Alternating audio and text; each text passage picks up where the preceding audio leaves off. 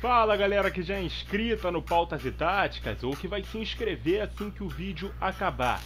Talvez não seja nenhum mistério para ninguém reconhecer o maior clássico do futebol mundial. Por isso, nós não vamos nos limitar a eleger apenas o primeiro colocado, mas sim os cinco maiores confrontos entre dois clubes no mundo. E para isso, nós vamos adotar alguns critérios. O primeiro critério é, obviamente, a rivalidade. Porém, ele não é o único argumento para determinar que um clássico é mais importante do que o outro. Até porque outro critério é a relevância e a importância daquele jogo para além da esfera local ou nacional, ou seja, o despertar de interesse que o público que consome o esporte fora de sua cidade ou país de origem tem em assistir aquela partida o potencial que o jogo tem de causar no amante de futebol a vontade de querer acompanhar aquele jogo.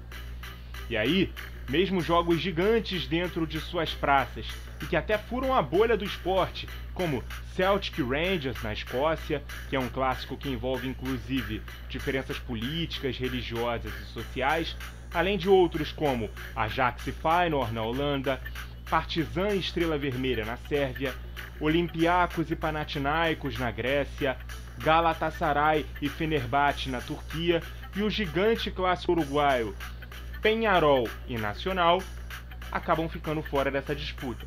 Por mais que sejam jogos gigantescos em seus lugares de origem, eles não geram comoção ou mobilização em tantas outras regiões do mundo.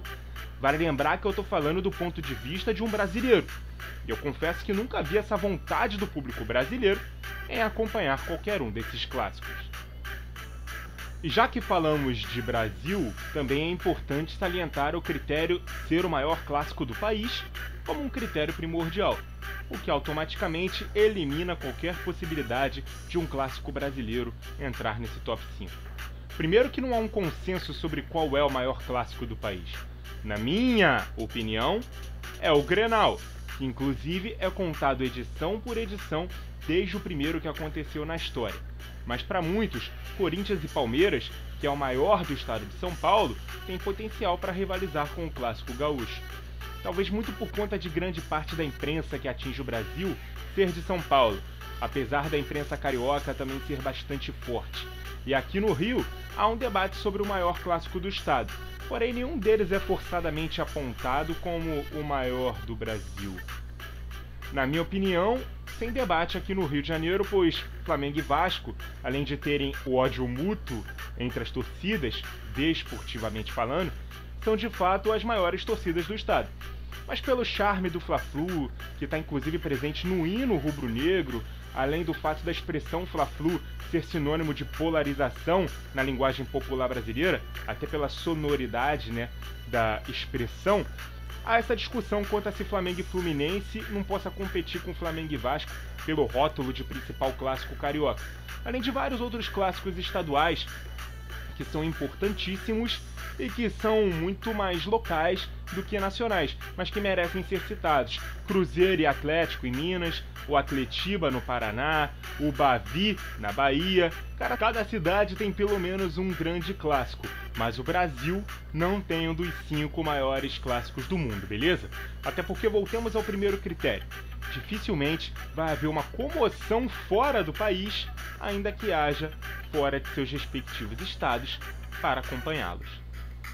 Mas ainda dentro desse critério de não ser o maior clássico de um país, podemos citar clássicos que até geram interesse fora de suas praças, mas existem outros dentro das fronteiras nacionais que são maiores e mais importantes, como Racing Independiente na Argentina, Roma e Lazio na Itália, Arsenal e Tottenham na Inglaterra, e até um jogo que foi duas vezes final de Champions League recentemente, Real Madrid e Atlético de Madrid, que durante muito tempo foi dominado pelos merengues que se viam praticamente sem adversário dentro de sua cidade. E é esse critério que também elimina Everton e Liverpool e Manchester United e Manchester City da disputa, por motivos diferentes. O Merseyside Derby, como é chamado o clássico de Liverpool, já foi muito maior do que é hoje, quando o Everton era de fato uma das maiores forças nacionais. Hoje em dia, a realidade do Everton é a de brigar contra o rebaixamento ou, no máximo, figurar no meio da tabela. E o próprio Liverpool adormeceu por décadas e chegou a ficar 30 anos sem conquistar a Premier League, alternando brigas frustradas pelo título e também campanhas de meio de tabela. Já o derby de Manchester também é muito parecido com o derby de Madrid. O United foi muito dominante na liga nos anos 90 e 2000, enquanto o City, até ser adquirido pelo grupo dos Emirados Árabes em 2008, era um clube coadjuvante no país e que vivia à sombra do rival.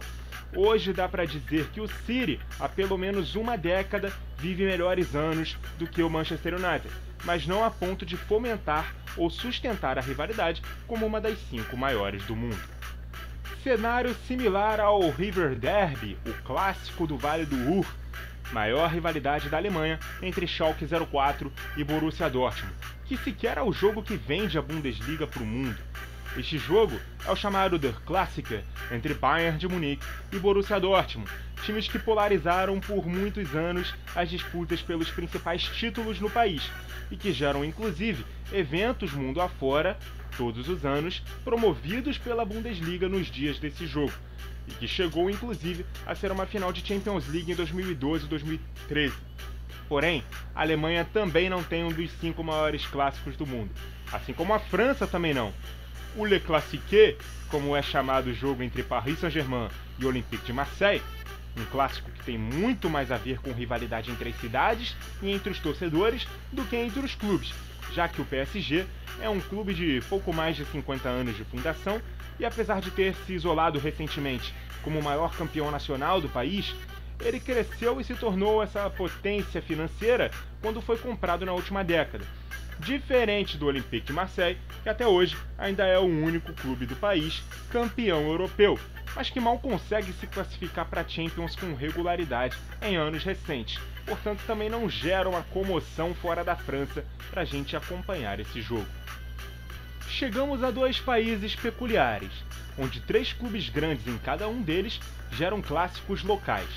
Em Portugal, temos o Derby de Lisboa entre Sporting e Benfica, mas como os encarnados como clube são amplamente mais bem sucedidos do que os leões, o considerado grande clássico do país é entre Porto e Benfica, dois clubes bicampeões europeus, os dois clubes com maior número de taças nacionais e os dois maiores representantes de cidade que também têm rivalidades sociopolíticas e econômicas.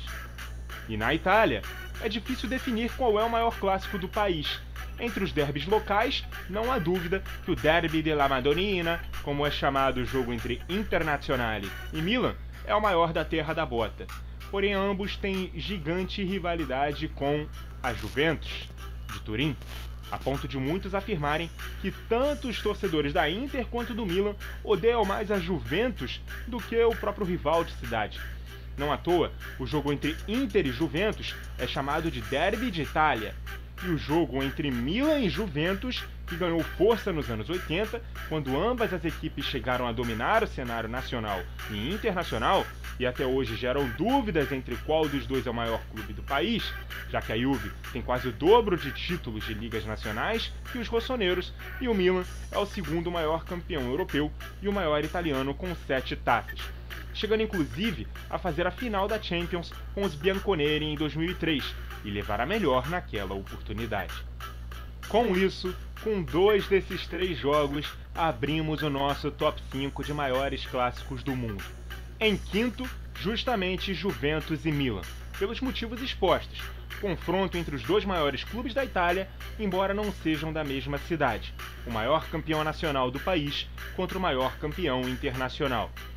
Em quarto, o Derby de Milão, Inter e Milan, o Derby della Madonnina, confronto que apesar de ter o Milan com mais títulos totais, tem uma Inter com mais vitórias no confronto direto.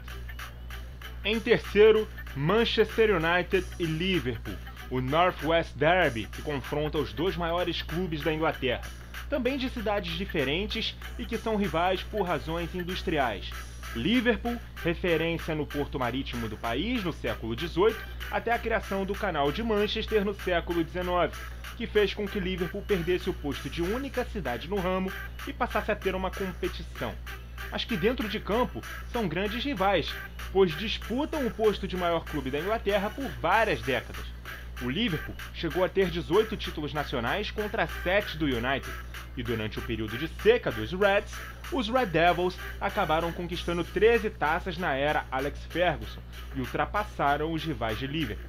Hoje, o United ostenta 20 taças contra 19, apesar da lista de conquistas europeias ainda ser favorável ao clube da terra dos Beatles, com 6 títulos contra 3 do time de Manchester.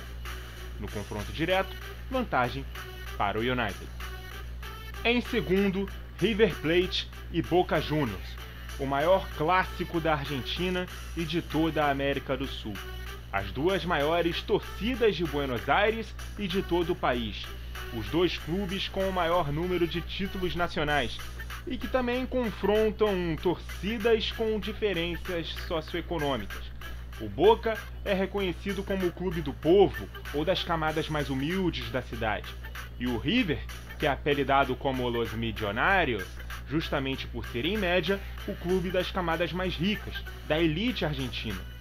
O Boca, que na minha opinião é o maior clube da América do Sul, o terceiro maior em títulos internacionais na história, incluindo seis Libertadores e três Mundiais de Clubes, contra o River, que detém o maior número de campeonatos nacionais, que são 38, e que apesar de menos Libertadores, 4, venceu o duelo mais importante da história desse confronto, a última final em dois jogos da história da Liberta. Inclusive, deveria ter tido o segundo jogo no Monumental de Núñez, estádio do River, mas que por um apedrejamento no ônibus do Boca por parte da torcida, a partida foi remarcada para o estádio Santiago Bernabéu, na Espanha, com mais de 62 mil pessoas presentes, envolvendo torcedores dos dois clubes, amantes do futebol e até jogadores em atividade, como Messi, Griezmann, Godin, James Rodrigues, Bonucci, o técnico Diego Simeone e o ex-lateral Zanetti, o que atende muito ao critério do interesse global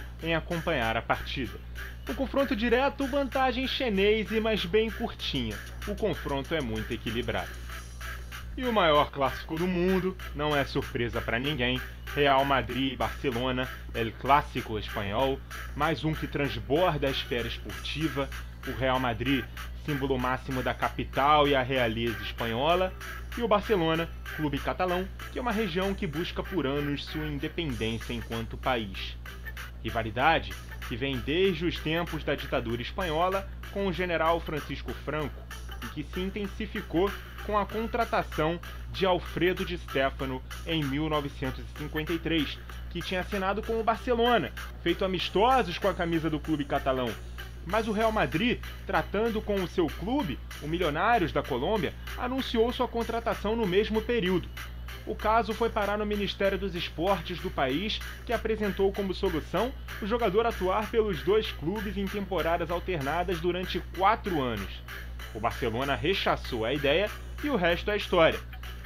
Di Stefano é um dos maiores, se não maior ídolo da história do Real Madrid. Conquistou cinco títulos europeus pelo clube, parou de jogar como o maior artilheiro da história da equipe e simbolizou mais uma vitória sobre o Barcelona, que foi justamente ter conseguido a sua contratação. Além de vários outros episódios históricos, como o jogo das garrafas em 68, que foi o protesto da torcida do Real Madrid na final da Copa do Rei, perdida em casa contra o rival por conta de um pênalti não marcado pela arbitragem. Os dois 5 a 0 um para cada lado em 94, vitória do Barça, e em 95, vitória do Real Madrid. Em ambas, com o dinamarquês Michael Laudrup, que trocou de clube entre as temporadas, estando sempre no lado vencedor.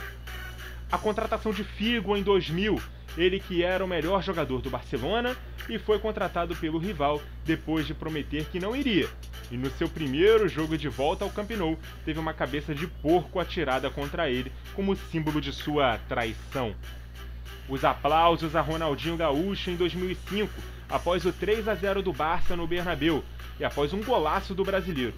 A torcida merengue se levantou para aplaudi-lo de pé, lembrando que era o período em que o Real Madrid vinha com os Galácticos e o Barça se reerguia no cenário nacional, liderado pelo camisa 10. E o grande período recente da rivalidade, que foi a era Messi-Cristiano Ronaldo. os dois maiores jogadores da década de 2010, que polarizaram as disputas individuais de bola de ouro, chuteira de ouro, recordes, alcançaram as artilharias máximas da história dos respectivos clubes e elevaram ainda mais a importância e interesse do mundo em acompanhar o maior jogo, não só de La Liga, mas de todo o planeta. Para muitos, os dois maiores clubes do mundo, tendo em seus elencos os dois maiores jogadores da época e dois dos maiores de todos os tempos. No número total de títulos e de vitórias oficiais, vantagem merengue. As vitórias mais contundentes também são do Real Madrid, 11 a 1 em 1943 e 8 a 2 em 1935. Mas o Barcelona, por exemplo, tem um 7 a 2 em 50, um 6 a 1 em 57, um 6 a 2 em 2009 e 5 vitórias por 5 a 0 em 35, 45, 74, 94 e 2010. Por tudo isso, não há dúvida, El Clássico Real Madrid-Barcelona é o maior clássico de todos os tempos em toda a história do futebol. Mas agora chegou a sua vez de comentar, cornetar ou até concordar com a nossa lista. Mudaria algo no nosso top 5 de maiores clássicos do futebol mundial? E entre os citados, faltou algum? Na nossa disputa caseira, qual é o maior clássico brasileiro? Fica à vontade para opinar aqui nos comentários, sempre com muito respeito diante de discordâncias ou opiniões adversas. Muito obrigado a você que acompanhou o vídeo até aqui. Continue ligado no Pautas e Táticas. E até a próxima!